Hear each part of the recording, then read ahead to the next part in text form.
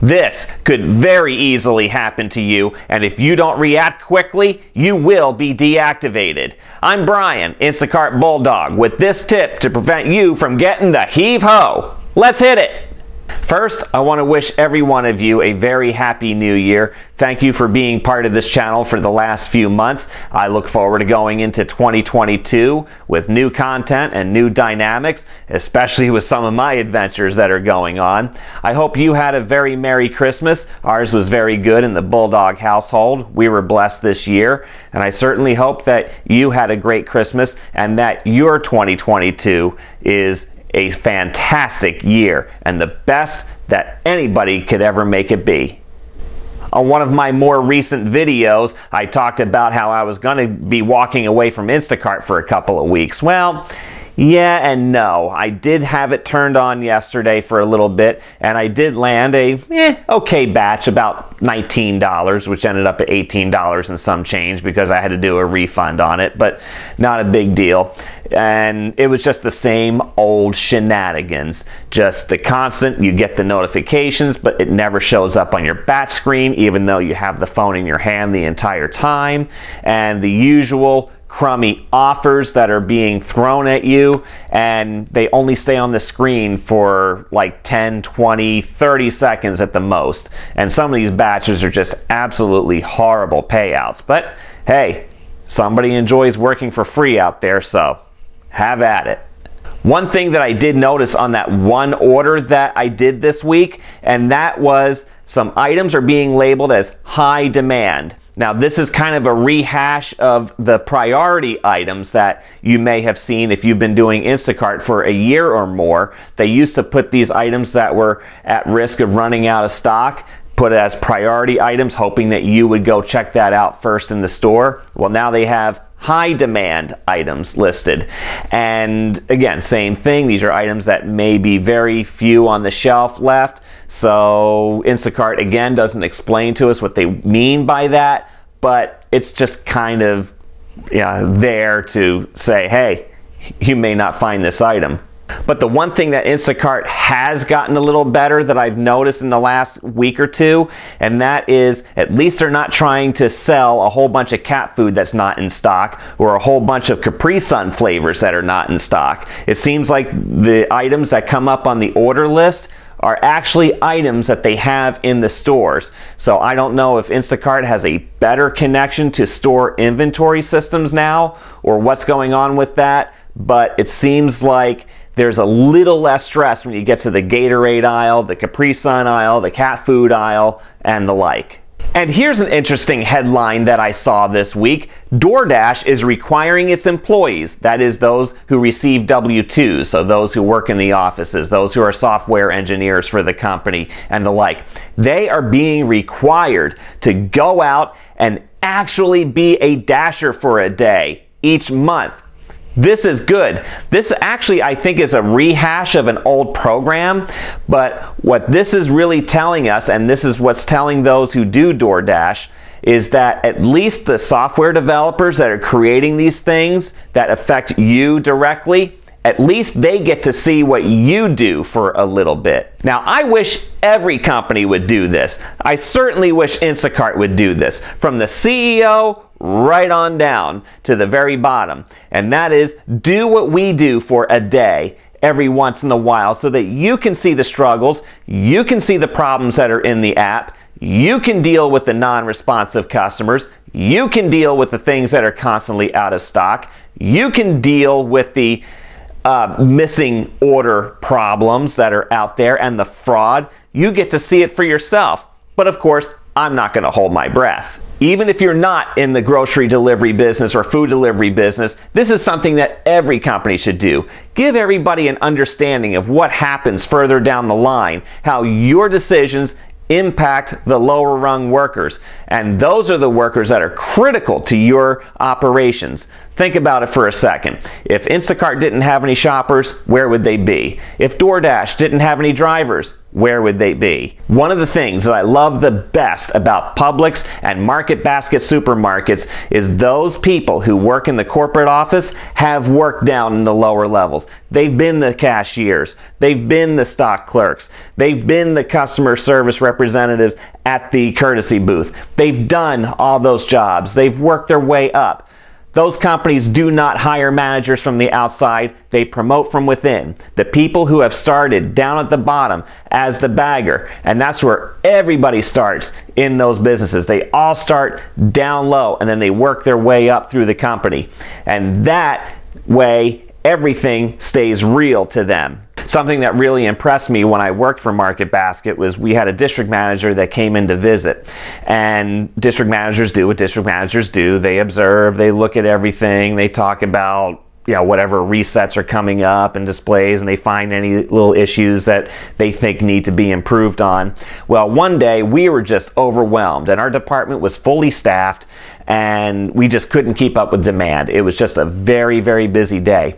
That guy dove right in and started doing our work. He just grabbed boxes and throwing stuff on the shelves. I mean, placing them neatly, of course, as they should be, but you get it. And he got in until we were able to dig out of the hole for a little bit. That is what a good management system does. I've always said that a manager should never ask somebody to do something that they wouldn't be willing to do themselves. And I've been a manager. I know how things go. And that's why I really dislike it when somebody who has never done my job a day in their life is going to tell me how to do my job, particularly nitpick every little detail, micromanaging detail about how the job should be done when they've never cracked a microphone a day in their life, when they've never written a paragraph a day in their life, or even hit the record button on any kind of device any day in their life.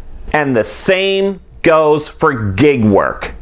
All right, now on to the topic that I introduced in the beginning of this video.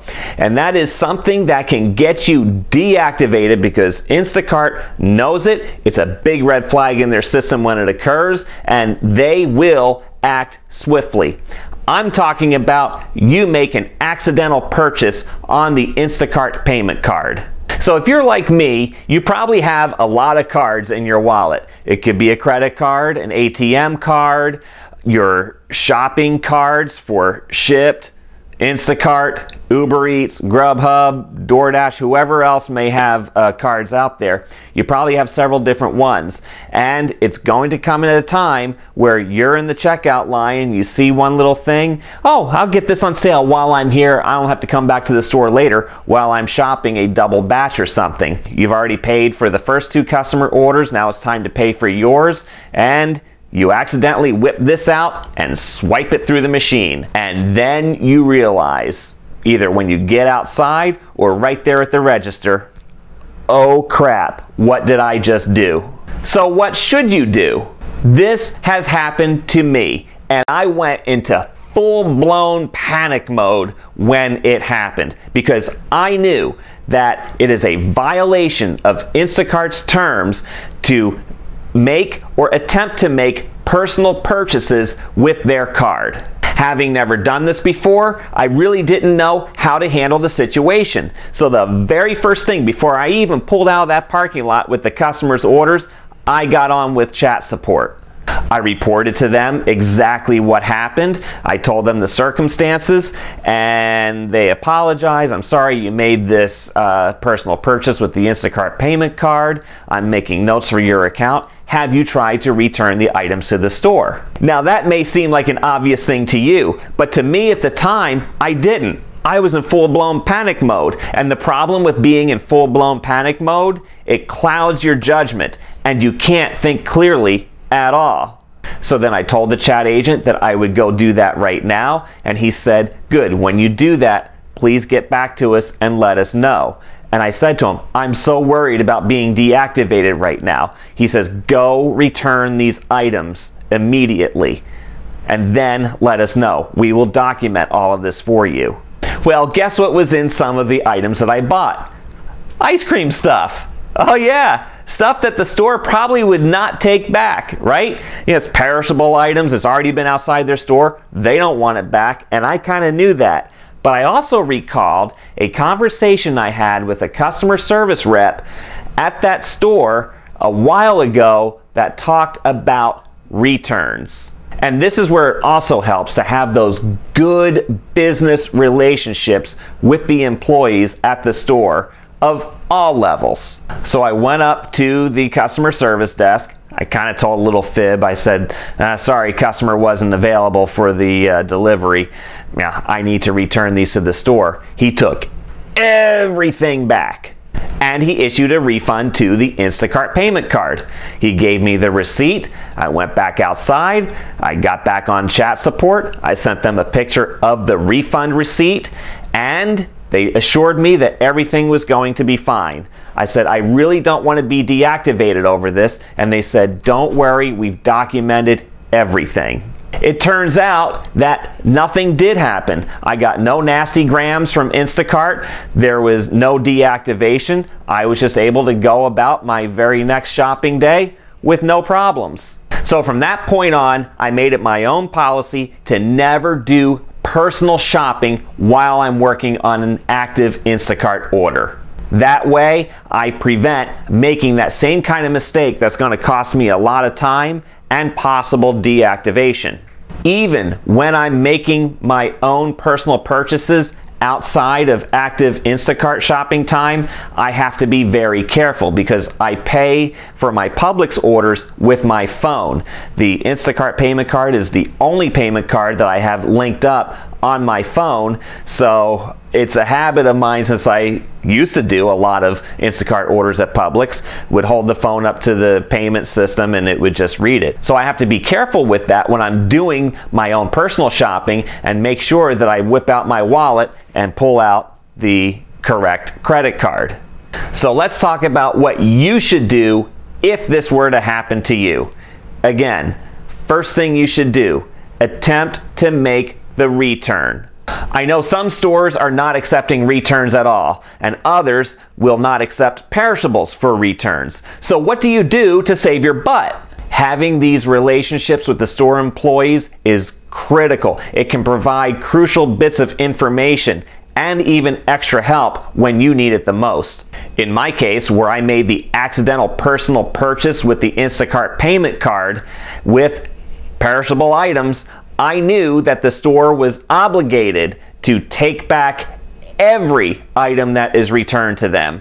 I knew this because that customer service rep that I knew told me about the email that he said was posted in the back office that from Instacart saying that that store or that company particularly and I'm guessing this may apply to other companies as well that they had to accept everything now, what sucks for that company, they're not going to put the perishable items back on the shelf. They're just going to have to destroy it, and they lose money on that deal. But that is their agreement with Instacart. That company agreed to those terms when they made their affiliation with Instacart. So they knew that that was going to happen.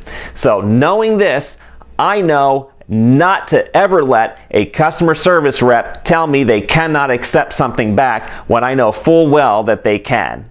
Particularly if it's something that could cost me my gig. Now, let's say you have a customer's order and it was a hand to customer and they're not answering the door, they're not answering the phone calls, they're not answering the text, and support tells you, go ahead and return the items to the store if you can. Well, go ahead, make your return, and if the company doesn't accept the perishables back, fine, just chalk it up to company policy, tell Instacart that. Let those two companies battle it out. Me, I just want to get on with my day. So again, if you're the chatty type and you get to know some of these employees, particularly those on the customer service line and the front end of the store, talk to them, get to know them, and maybe even ask them one day. Just say, hey, what is your policy about Instacart returns?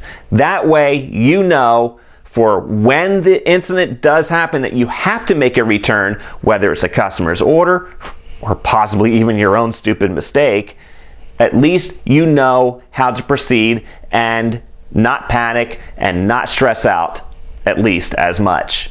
But I think the one thing that really did save my butt was that I reached out to chat support immediately. I know a lot of times they talk a lot of flowery language, they're speaking from a script, and they're powerless to do a lot of things, but I think in this case, they were able to input enough information that when the system would flag that purchase, that they could look at the account and say, okay, we're, we're fine here.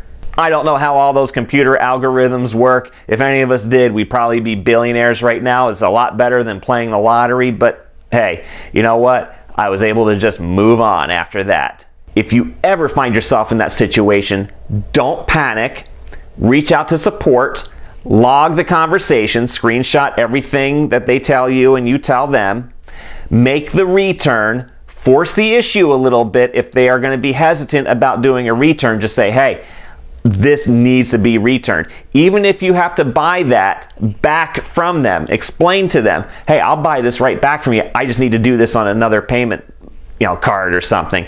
They should be able to work with you on that. If they don't, you need to reach out to support again and explain the situation. Hopefully, they can do something that'll help you. They may not. I don't know. But at least in my case, the store took everything back.